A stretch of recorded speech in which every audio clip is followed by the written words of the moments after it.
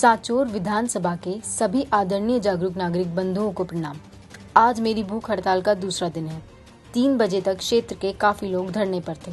तब तक कमज़ोरी का बिल्कुल एहसास नहीं हुआ। लेकिन उम्र के हिसाब से अब थोड़ी कमज़ोरी महसूस कर रहा हूँ। लेकिन मैं हारने वाला नहीं हूँ।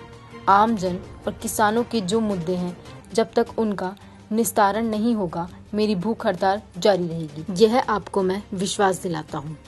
साथियों सोशल मीडिया के ज़रिए सभी हमेशा अपनी अपनी समस्याएँ लिखते रहते हैं। उनकी वह सब बातें वाजिब है। लेकिन जब आज आप सबकी धरने में ज़रूरत है, यहाँ धरना आपकी जो भी समस्या है, उसके लिए है। यदि आप अगर कहीं बाहर हो तो घर पे संदेश देकर किसी को भेजना चाहिए, ताकि इस घूँगी भैरी सरकार और इस सोए हुए प्रशासन के खिलाफ हम हल्ला बोल सकें।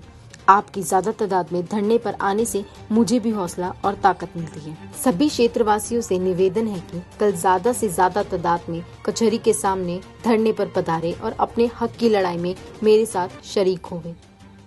राजस्थान सरकार ने किसानों को मिलने वाला कृषि आदान अनुदान की राशि पिछले दो साल से नहीं मिल रही है। गत वर्ष बाढ़ से सांचौर विधानसभा में जो किसानों को नुकसान हुआ था उनका मुआवजा अभी तक नहीं दिया जा रहा है।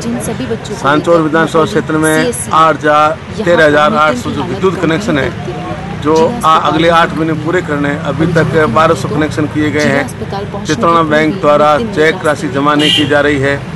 वहीं शेष बच्चों का प्राथमिक उपचार के किसानों के नर्मदा का पानी नरम नहीं छोड़ा जा रहा है।